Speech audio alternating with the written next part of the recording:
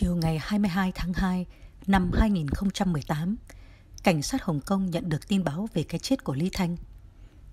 Tại hiện trường, thi thể ngôi sao gạo cội này đã bị phân hủy bốc mùi.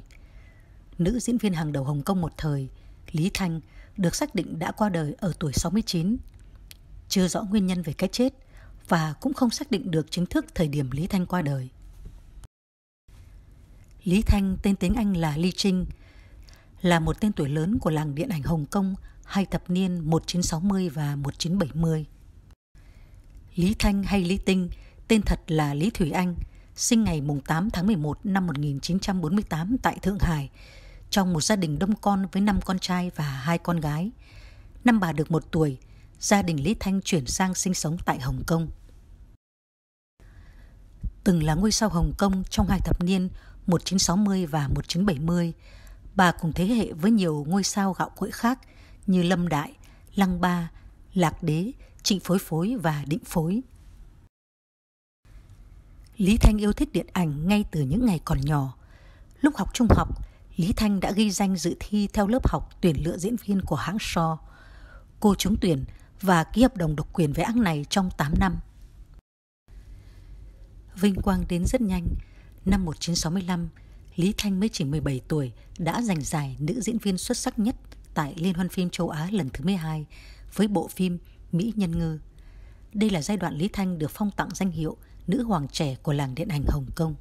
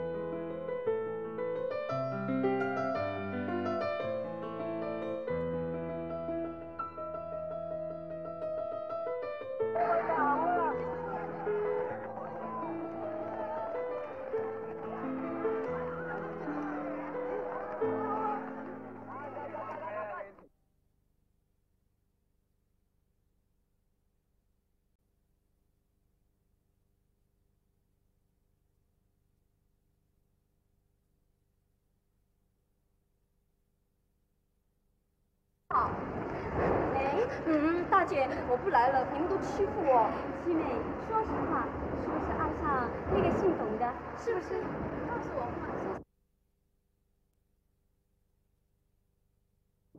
American films. I like American films. Who your favorite actors or actresses? Um. let's see. Uh, I like Paul Newman, uh, Audrey Hepburn, and. Natalie Wood. Do you regard yourself as a sex symbol? I don't think so. no. Okay, that's fine.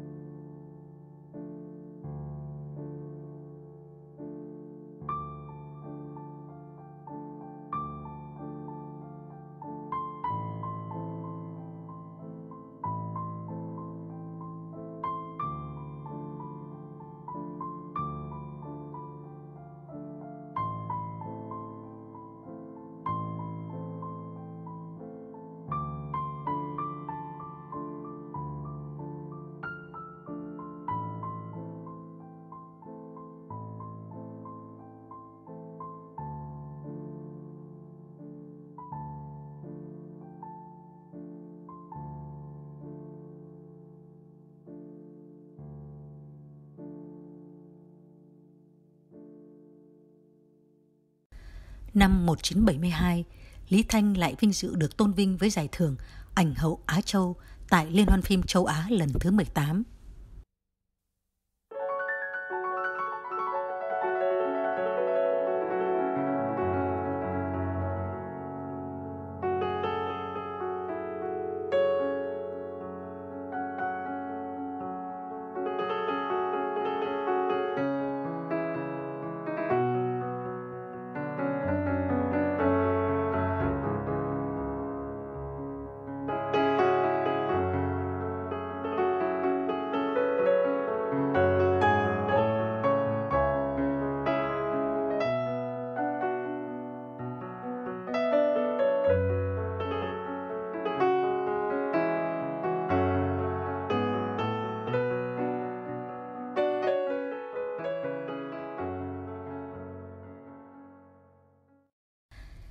Khán giả tại Việt Nam rất yêu mến Lý Thanh trong các bộ phim điện ảnh của bà đã từng được trình chiếu.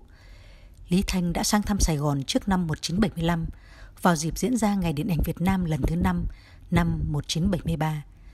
Dịp này, Lý Thanh đã giao lưu và chụp rất nhiều ảnh kỷ niệm với các nghệ sĩ nổi tiếng Việt Nam như Thẩm Thúy Hằng, Kim Cương, Trần Quang. Sự nghiệp diễn xuất của Lý Thanh kéo dài từ năm 1964 đến năm 1983 và bà đã có một gia tài khá đồ sộ, gần 100 bộ phim điện ảnh và truyền hình. Những tác phẩm đời đời của Lý Thanh có thể kể như Mỹ Nhân Ngư, Tử Giác, Bảo Phiêu, Bảo Liên Đăng, Thập tướng nữ Anh Hào, Tân độc thủ Đại Hiệp, Sở Lưu Hương, ỷ Thiên Đổ Long Ký. Bạn diễn nam ưng ý nhất của Lý Thanh là Địch Long và Khương Đại Vệ.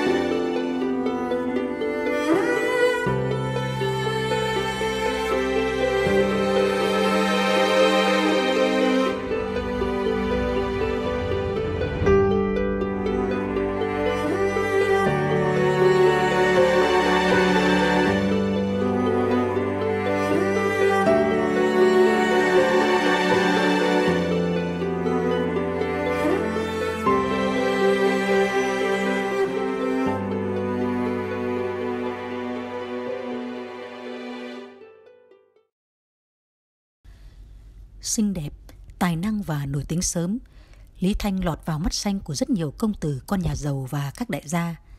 Sau cùng, bà công khai tình yêu với con trai trưởng gia đình họ lôi giàu có ở Hồng Kông. Năm 1979, Lý Thanh đối diện với một biến cố rất lớn. Người bạn trai lâu năm của bà đột ngột qua đời. Nỗi đau về sự ra đi của người yêu chưa hẳn nguôi, thì năm 1983, Lý Thanh lại chịu thêm nỗi đau mất mẹ, người mà bà vô cùng yêu quý. Cảm xúc của Lý Thanh như bị chạm đáy, bà quyết định rút khỏi ngành giải trí. Lý Thanh chuyển hướng đầu tư vào thị trường chứng khoán. Lý Thanh không có duyên với việc làm ăn, bà liên tục gặp khó khăn. Lý Thanh không những rơi vào nợ nần vì đầu tư thua lỗ mà còn gặp nhiều bất hạnh, xui xẻo trong đời sống tình cảm riêng tư. Cô đơn và trống vắng, để giảm áp lực công việc và quên đi những chuyện buồn trong quá khứ, Lý Thanh tìm vui trong các sòng bài. Bà trở thành con nghiện cờ bạc và cũng vì nó mà lao đao, tới mức từng bị chủ nợ tại Macau siết nhà.